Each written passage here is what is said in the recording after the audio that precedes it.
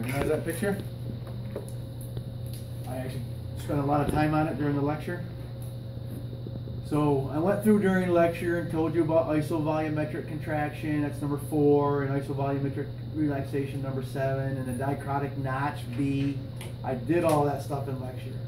I also went down and told you how if you take, uh, this is your end diastolic volume and this is your end systolic volume, but you notice how the heart's not empty, there's still 50 mLs left. So I said, well, this is called your, this is called your stroke volume right here. The amount of blood that you pumped is your EDV minus your ESV. Did that during lecture. And then I said what you could do is you could take your stroke volume divided by the total, the total amount of blood in your heart, F. And your stroke volume was uh, 130 minus 50. What's 130? 80? Your stroke volume was 80, right? But you had 130 mils of blood in your heart. What's your ejection fraction? 80 divided by 130.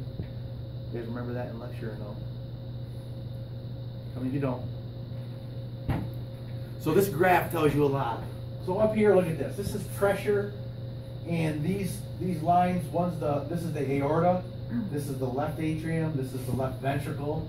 So look at your lines. They're labeled for you. Left ventricle, left atrium, aorta, and this is pressure. So look how the pressure goes up. Okay. So look at the pressure in my aorta. So let me ask you one thing. What's going on in A? The pressure in my ventricle now supersedes the pressure in my aorta. What's going on in A? What valve's opening? Yeah, the aortic semilunar valve's opening. How do I know? Because the left ventricular pressure just exceeded the aortic pressure. The aortic semilunar valve just opened. B is where the aortic semilunar valve shut. Seven is isovolumetric relaxation. You already pumped all the blood out. You're not changing any more volume, but your heart's relaxing. All right. And four, by the way, is isovolumetric contraction.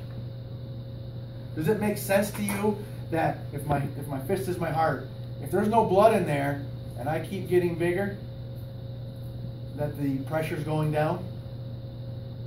Does it make sense to you that this is filled with blood and I start squeezing it, the pressure goes up if it's not moving? See, it can't go anywhere yet because I haven't gone through the valve.